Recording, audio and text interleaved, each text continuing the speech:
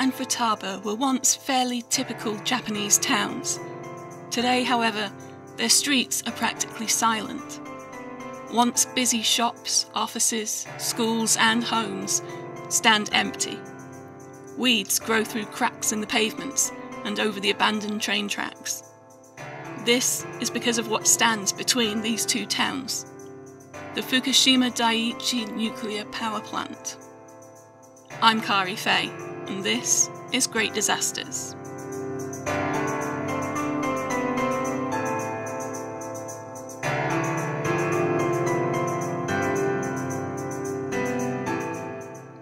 When you take into consideration the fact that Japan was the only country to ever suffer an atomic bomb attack, it may be surprising to learn how thoroughly they embraced nuclear power in the following decades. Their first nuclear power station, the Tokai nuclear power plant, was commissioned in 1966. By the beginning of 2011, 30% of the country's power was nuclear generated, and with plans for new construction, this was expected to rise to 40% by 2017. The Fukushima Daiichi nuclear power plant, operated by the Tokyo Electric Power Company, or TEPCO, was one of those expected to expand. Built on the east coast of Japan, between the towns of Okuma and Futaba in Fukushima Prefecture, it lay approximately 140 miles, or 225 kilometres, from the capital city, Tokyo. Construction originally began in 1967 the first reactor was commissioned in 1971, and by 1979 there were six reactors online, their combined capacity making it one of the 15 largest nuclear power plants in the world. Two new reactors were supposed to begin construction in 2012 and 2013, to come online in 2016 and 2017. Reactors 1 to 4 were built in a line along the coast on the side closest to Okuma, Reactors 5 and 6 were built a little way north of them, closer to the Futaba side of the plant. They were controlled in pairs from three control rooms. The reactor buildings sat on a bluff about 10 metres above sea level. Below them, about 4 metres above sea level, were the emergency seawater pumps and seawater inlets. On Friday, the 11th of March 2011, only reactors 1, 2, and 3 were operating. 4, 5, and 6 were shut down for maintenance. As detailed in the previous episode, a massive earthquake struck that afternoon at 2:46 p.m. The epicenter was less than 50 miles, about 75 kilometers, from Fukushima Daiichi. Masao Yoshida was the superintendent of the power plant. The quake struck while he was in his office, and for five minutes all he could do was cling to his desk and wait for the shaking to stop. When it did, he made straight for the plant's Emergency Response Centre, or ERC, which was situated in a quake proof building completed only eight months before. In the control room for reactors 1 and 2, shift supervisor Ikuo Izawa similarly had to hold on to his desk. Some of the operators grabbed handrails by the control panels, Others simply sat on the floor because, for the moment, there was nothing else they could do. As soon as the shaking began, automatic fail-safe systems put the reactors into SCRAM, emergency shutdown. This meant that all control rods would automatically be inserted into the reactor to stop the fission process.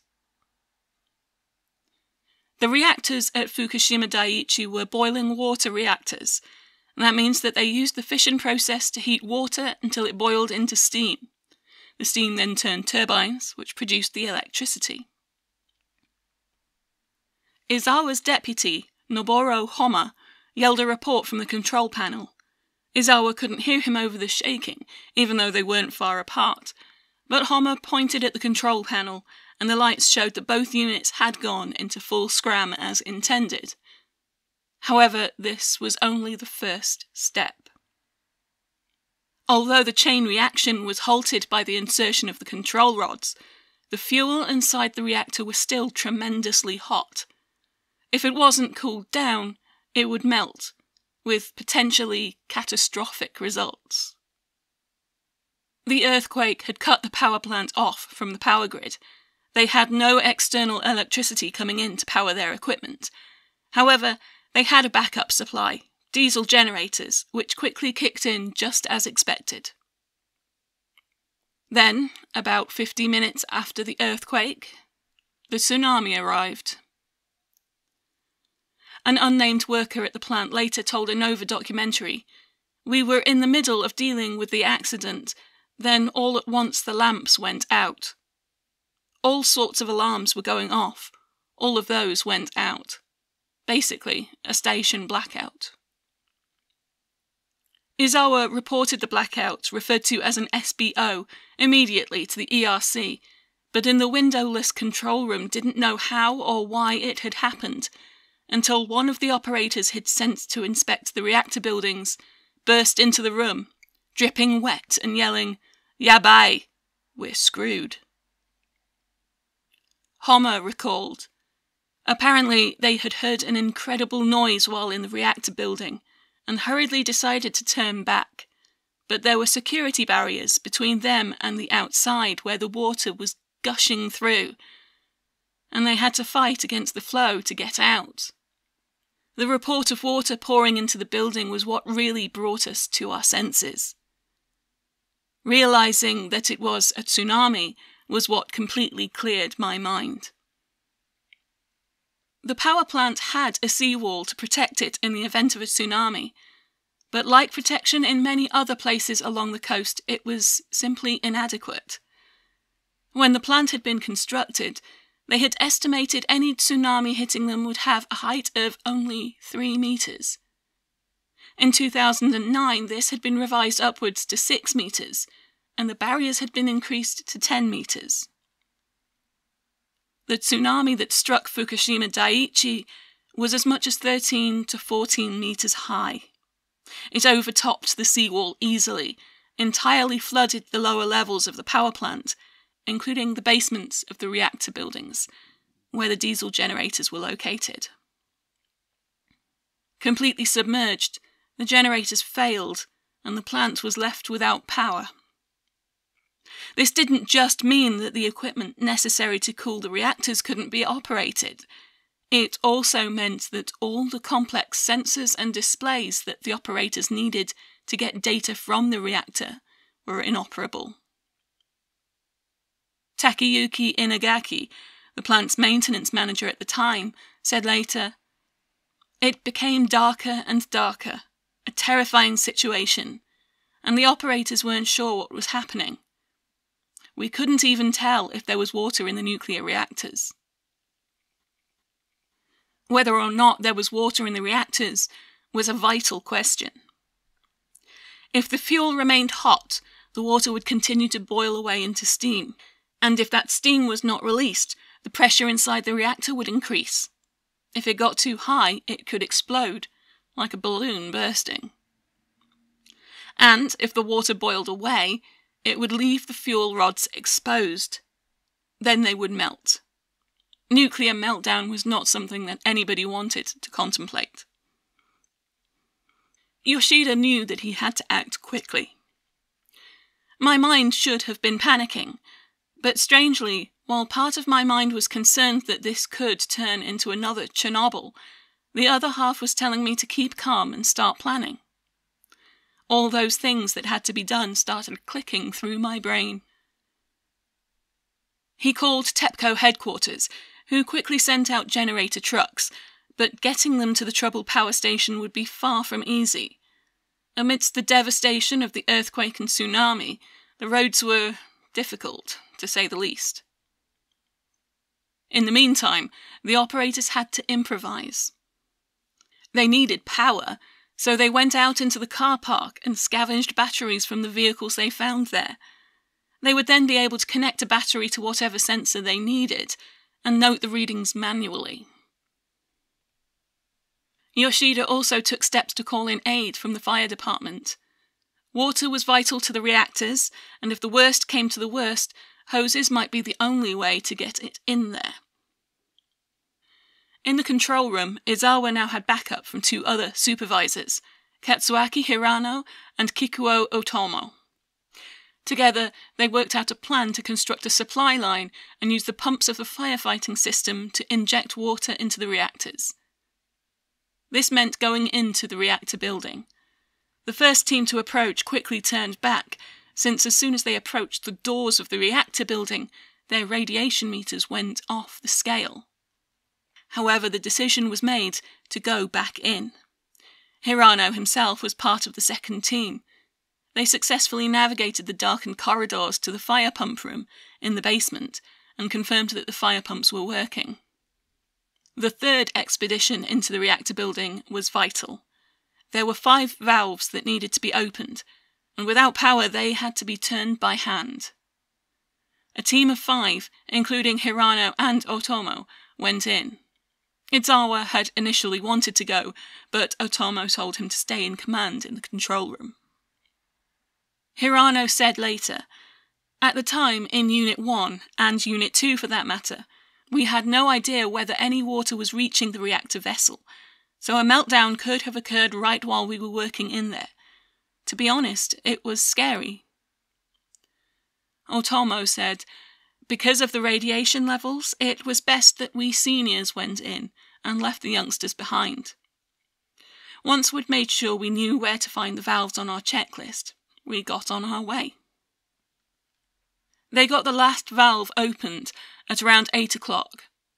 Later, it was estimated that the fuel rods in Unit 1 had started to melt at around half past seven. At just past seven, the Prime Minister's office announced the declaration of a nuclear emergency. However, they were careful to avoid panic. Note at present, no impacts from radioactive materials upon the area outside of the facilities have been confirmed. Consequently, at the current time, residents of the area targeted under this declaration and other persons in the area do not need to take any special actions immediately. Persons affected are asked not to begin evacuation hurriedly, but rather to be on standby in their homes or current locations and access the latest information via emergency public broadcasting services on wireless radio, TV, the radio, and so on. Once again, radioactivity is not in fact leaking out of any nuclear facilities. The public is asked to remain calm and stay well informed. An evacuation order followed two hours later at 9 pm. Everyone within three kilometres of the power plant was told to leave, and those within 10 kilometres to stay at home in case the evacuation area needed to be expanded later. At the power plant, they worked through the night to clear away debris from the earthquake and tsunami so that the fire engines could get into place. Around four the next morning, they were able to start injecting water, but they only had one operable fire engine on site. Further fire engines, supplied by the Japanese Self Defense Forces, would arrive the next morning. At some time past 10 o'clock that first night, Motohisa Ikeda, deputy head of the Ministry of Economy, Trade and Industry, known as METI, arrived to set up a local nuclear emergency response headquarters in Okuma. Working with a single satellite phone, he tried to get a clear idea of what was happening from the METI inspectors still inside the power plant. However, when he asked them for specific parameters temperature, pressure, water levels, etc. there was no data. This is where things start to become rather confusing. Up until this point, the operators at the power plant were just reacting as fast as they could, based on the information they had available. Now, though, politics got involved. In the early hours of Saturday morning, Ikeda got a call from Tokyo saying that a press conference was being planned about carrying out a vent. That meant releasing some of the steam from inside the reactor's primary containment vessel, not the core itself, but the space around it, to the atmosphere.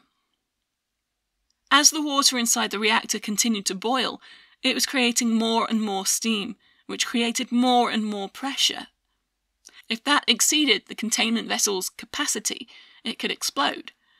Ikeda realized that this would be a catastrophe of an unspeakable scale. If the containment vessel were to explode, radioactive material inside would be blasted all over the surrounding area, causing terrible contamination. We had to prevent that. If we failed, it would be even worse than the worst ever. At the same time, releasing steam from inside the containment vessel did mean releasing radiation and contaminating the immediate area.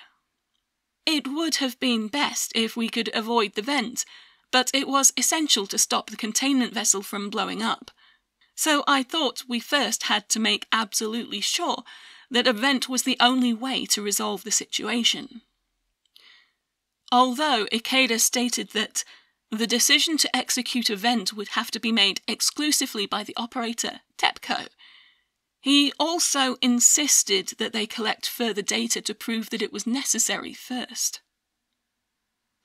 In the control room, Izawa knew that the vent would have to be done by hand. Somebody would have to go into the reactor building to turn the valves. He asked for volunteers, again offering to go himself, and again being advised that he should remain in the control room. There were more volunteers than they needed. Izawa chose the oldest men, partly because their experience made them more familiar with the valves, and partly because their age meant they were less vulnerable to the radiation. They decided who exactly would do what and got their equipment ready, but they had to wait for permission from the ERC. Inagaki later spoke of the weight of this moment. To go into a pitch black reactor building with the containment vessel pressure so high, I don't know if I should say it, but it felt like we were putting together a suicide squad. This was when the Prime Minister Naoto Kan decided to visit the stricken power plant himself. Communications issues and the lack of available data at Fukushima Daiichi meant that Kan and his advisors had very little idea what was actually going on at the power plant. He had decided that the only way to find out was to go there. Others didn't agree. Ikeda said, even if the PM came to Fukushima, he could attempt to maintain control of the country from there, but land transport and landline communications were wiped out, and so was pretty much everything else. You could hardly get through to anywhere. Even if he came, he wouldn't be able to stay in command and he'd be better informed about the nuclear accident staying at his office in Tokyo. He needed to maintain a broad overall view and a balanced one to keep his priorities straight. Yoshida and his staff now had to prepare for the PM's visit, working out where his helicopter could land, how he could get to the ERC without bringing in contamination from outside, and where to get protective equipment for the visitors. This last was a particular sticking point. They were already struggling to find enough equipment for their staff, since things could only be used once and would then be contaminated. But as far as preventing the visitors from coming, there was nothing more I could do. I've a suspicion that Mr. Kan didn't even realize that he himself could actually get contaminated. I don't think he had a clue about things like that, he simply wanted to get inside the ERC and hear all about it as soon as possible, so he came. He didn't deliberately make a nuisance of himself, it was just plain ignorance on his part. Upon his arrival, the first thing Kan wanted to know was why they hadn't already carried out the vent. Fortunately, he seemed to get along well with Yoshida and accepted the superintendent's explanations, saying later Nobody had ever tried to explain things to me like that before. He managed to convince me that he knew what was going on, and that was fine with me, so I left him to it. With the Prime Minister off again, Yoshida was able to return his attention to the disaster. At 9 am, they got word that the local evacuation was complete and they were able to get on with the vent. Equipped with heavy protective suits, masks, and air tanks, the volunteers set off in teams of two to open the valves. The first team succeeded in their task, but the second team encountered such high radiation levels that they were forced to turn back. These two men were close to the legal limit for cumulative exposure and had to evacuate to the ERC. Despite the danger, a third team prepared to go in. A route was planned that might expose them to lower levels, and they were prepared to run in order to reduce the time they spent there. However, they were called back shortly after they had left the control room. At just after 3:30 on the afternoon of Saturday, March the 12th, cameras fixed on the Fukushima Daiichi plant caught the terrifying sight of an explosion at Unit 1. Izawa said, There was absolutely no warning, just boom. We didn't know what it was. For a moment, I had a feeling there had been a steam explosion in the pressure vessel and that the whole reactor had gone up. Fortunately, this was not the case.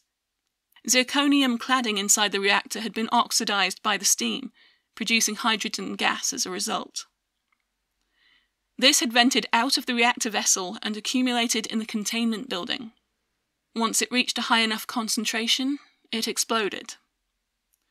The containment building was severely damaged, but the reactor vessel itself remained intact. It was bad, but not as bad as it could have been. While some workers had been injured, everyone was still alive. The next issue they had to deal with was the availability of water to cool the reactors with. Fresh water was limited, however, there was plenty of seawater around.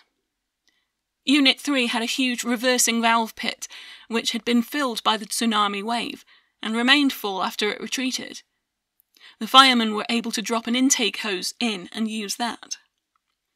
They had just begun when Yoshida got a call from Tokyo ordering him to stop. The Prime Minister's office had concerns. The main problem with seawater was that it was corrosive. Long term, it would damage the reactors. The salt from seawater would build up as the water evaporated, and it was suggested that this could conceivably lead to a steam explosion or recriticality incident. Soon after that first call, Yoshida received orders from TEPCO headquarters to halt the seawater injection. He announced the order during a video conference, but had already issued separate instructions to his operators to ignore it. It's pretty obvious that with such a huge amount of heat to get rid of, the sea was the only way. We didn't have anything like the amount of fresh water we would need so our final conclusion was that cooling by injecting seawater was the only answer. Cooling the reactor was absolutely essential, so it was obviously the only way to go. We'd already reached that conclusion and acted on it, and then they come and tell us to stop. Prime Minister Kan would later state that he thought Yoshida's decision was the right one, and denied that he had interfered. At 6 pm on March 12, I personally thought that they would have to go ahead with the seawater injection, but since there were all kinds of aspects to consider, the experts should work it out properly.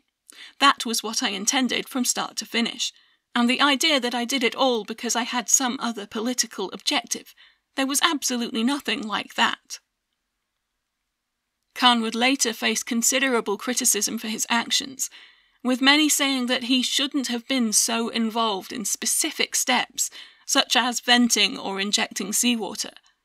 TEPCO were in charge, and it should have been up to them to make those decisions.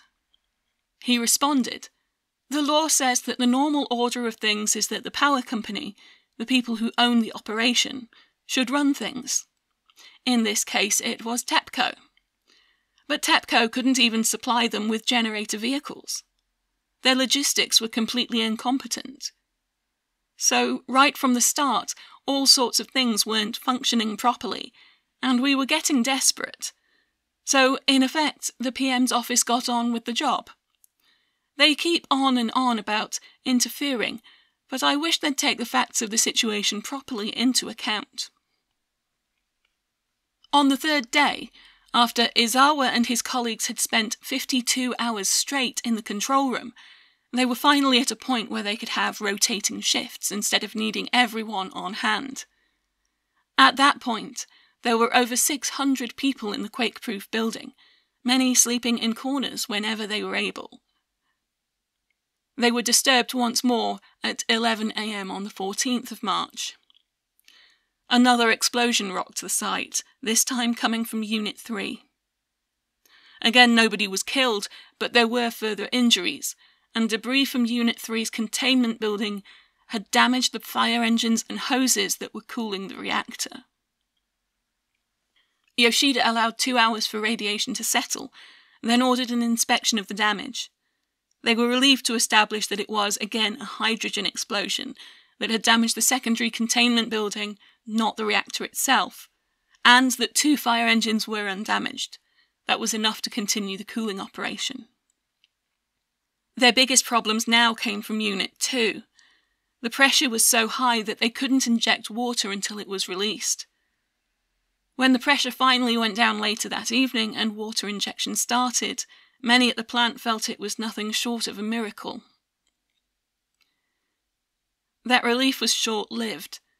The pressure soon began to rise again and was followed by another blast. This explosion damaged the containment building of Unit 4. This came as a surprise because it had not been running at the time and was not thought to be at risk. Later analysis would suggest that hydrogen from Unit 3 had vented into Unit 4, and this had caused the explosion. Around this point, Yoshida decided that it was too dangerous to have so many people on site, since many weren't essential technical staff. He ordered everyone who was not directly involved in their current operations to leave for Fukushima Daini, their sister site some 10 kilometers away. Somehow, this seems to have been reported to Tokyo as TEPCO planning a complete evacuation of the plant. How this communication error occurred isn't entirely clear, but at this point it seems to have been par for the course. At close to midnight, the Prime Minister was awoken. He had been sleeping on the sofa in his office. Later, Kan recalled that moment. Ever since the accident began, I'd been thinking about the worst possible case. Without anyone there to control the reactors, once one of them gets knocked out, in due course they will all be knocked out. That means the total of 10 reactors at Fukushima Daiichi and Daini plants, plus their 11 pools of spent fuel rods, would all be done for. In terms of quantities, I was aware that it would be on a scale well beyond that of Chernobyl. The extent of this worst case scenario would have been unthinkable. It was estimated that the radius of the evacuation area would have to be about 250 kilometres, about 150 miles. It would have included the entire Kanto plain, including Tokyo, and affected some 50 million people. TEPCO chairman Masataka Shimizu was summoned to the Prime Minister's office shortly after four in the morning. Kan asked him directly if they intended to evacuate, and his reply was no, they had no intention of evacuating the plant. Kan told Shimizu that they were failing to communicate properly. As a result, he wanted to set up a joint command at TEPCO headquarters. He arrived there at 5:30 on the morning of the 15th and made a speech which was broadcast by video conference to the ERC at Fukushima Daiichi as well as to Fukushima Daini, the local HQ in Okuma, and to another TEPCO plant, Kashiwazaki Kariwa. The damage resulting from this accident is enormous. If things go on like this, Japan is done for. Abandoning the plant is unthinkable. You must risk your lives on it if necessary. If you abandon the plant, TEPCO will be destroyed. You can run, but you'll never get away. Those who saw this speech reported that Kan was furious. He is said to have told the older managers to go to the site and die on the job, adding that he was over 60 himself, and it makes no difference if we get cancer 20 or 30 years down the line. Yoshida, watching from the ERC, is said to have been so aggravated by this speech that he stood up, turned his back to the screen, and lowered his trousers to adjust his shirt tails. In a country where even turning your back on a superior is a taboo, this would have been an extremely overt act of protest. The truth of this situation is hard to ascertain for anybody who wasn't there. Yoshida and TEPCO representatives maintained that there was never any plan to completely evacuate the power plant. Kan and those on his side believe that his impassioned speech made them decide to stay. Although the media termed the remaining workers the Fukushima 50, there were actually 69 senior staff who had committed themselves to regaining control of the power plant, while their younger colleagues were moved to safer ground. It would not, in fact, be long before those younger workers returned. Some wanted to return sooner than they were allowed to. One was Yoshiro Abe, a veteran fireman. We worked for a contractor, not for TEPCO, so we had our own boss whose orders we had to follow. The boss in Tokyo said he couldn't allow his employees to go into such danger and forbade us from going into the plant. He tried to help from afar, talking people on site through difficult procedures over an unreliable phone connection, and simultaneously begging for permission to go. Eventually it was given, and on the 16th he was allowed to return. The focus then shifted from the reactors to the spent fuel pools. Like the fuel in the reactors, the spent fuel rods were kept in water, and like the fuel in the reactors, there was a danger they could melt if that water wasn't there. With the roofs blown off three of the containment buildings, the pools were exposed, so measures were taken to get water up there. This included an attempt to drop water from helicopters, However, because of the high radiation levels over the buildings, the helicopters had to fly at such a height that it's likely little water actually got to the pools this way. Nevertheless, little by little, the reactors were brought under control. It would be a long time before they could say that the immediate danger was over. It was not until December that TEPCO announced all three reactors had finally achieved cold shutdown and were therefore stable problems at the plant did continue. Contaminated water was found to have leaked into the sea, and the full decommissioning schedule for the plant will take at least 40 years. In the meantime, scientists are carrying out a wide range of studies into the effects that the radiation has had on flora and fauna in the area, comparing them to similar species in the area around Chernobyl. Masao Yoshida left TEPCO on the 1st of December 2011 on medical leave after a diagnosis of esophageal cancer. He died on the 9th of July 2013. His cancer was deemed to be unrelated to the accident. Assessing the true impact of the Fukushima Daiichi disaster is very difficult, not least because it is so tied up with the earthquake and tsunami. As with Chernobyl, the effect of the released radiation is a complicated matter. There is no way to be absolutely sure that illness in any individual can be definitely attributed to the disaster. Even if there was, it would take many years to reach a final number. At the moment, academic estimates vary between potentially hundreds to none at all, although TEPCO have accepted responsibility for at least one death in 2018 and four cases of illness. Then there's the evacuation. This eventually extended to 20 kilometres, with a further 10 kilometres restricted until the end of September 2011. Thousands of people from the affected area had to be moved, and that included many who were fragile, the sick, and the elderly. The stress of the disaster, the rigours of travel, the hardships encountered by those who had to be placed in temporary housing, all of these could contribute towards a deteriorating condition up to and including death. At least one elderly resident was reported to have taken his own life rather than leave his home.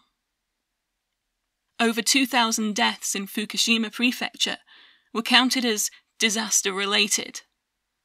That means that they were not directly caused by the disaster, but could be attributed to its effects. There is, however, no distinction drawn between those related to the nuclear disaster and those connected to the earthquake or tsunami. A later study found that it was difficult to justify relocating anyone from the Fukushima Daiichi district based on an analysis of the cost of moving versus the increase in life expectancy it brought.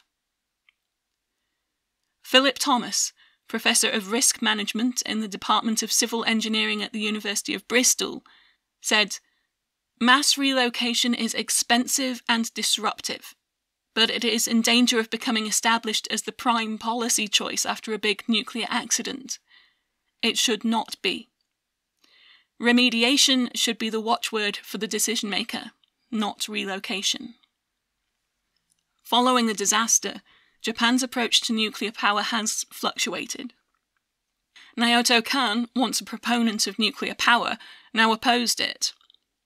On the 5th of May 2012, when the two reactors of the Tomari 3 power plant were shut down for maintenance, the country was completely without nuclear power for the first time since 1970. Since then, some reactors have been restarted, shut down, and restarted again. At the time of this episode, there are 37 operable reactors in Japan. Nine have been restarted, and a further 17 are seeking approval for a restart. Plans call for 20% of the country's power to be nuclear by 2030. The majority of the country's power now comes from natural gas and coal power stations. This, of course, has its own negative effects, including increased air pollution. Just like the Tohoku earthquake and tsunami which precipitated it, the Fukushima Daiichi disaster came about because of a lack of adequate foresight. With Japan's highly seismic landscape, some would question the wisdom of building nuclear reactors there at all. However, it is possible to design quake proof buildings. The fact that only one building at Fukushima Daiichi was quake proof, and that it was less than a year old at the time, is somewhat surprising. The main problems arose because of the tsunami, and again, if the seawall had been built high enough, the devastation could have been avoided. If the generators had not been in the basement, they might have withstood the tsunami. And finally, if emergency procedures had been clearer, if communication between the station, the company, and the government had been smoother, a lot of the panic which surrounded the accident could have been avoided. For now, we can hope that the lessons learned at Fukushima Daiichi will make other nuclear plants safer, and that the ongoing studies in the surrounding area will give us a new understanding of the risks of radiation. The Great Disasters podcast is created entirely by me, Kari Fay, but the support I get from you, the listeners, is absolutely invaluable. Special thanks go to top Patreon subscribers Detective RJ, Kate Avery, Michael Fay, MJ, Okami Fan 1, Renee Maunder, Scott RC, Shana Gitnick, Skella Heron, and Suzanne Morley. If you'd like to contribute, you can subscribe on Patreon, that's patreon.com slash greatdisasters, or you can make a one-off donation at ko-fi.com slash greatdisasters. That's ko-fi.com slash greatdisasters. That's a great way to tell me if you particularly like this episode. You can also help by subscribing and reviewing on your preferred listening platform. For full transcripts, sources, and more, check out the website www.greatdisasters.co.uk. And as always, please do stay safe.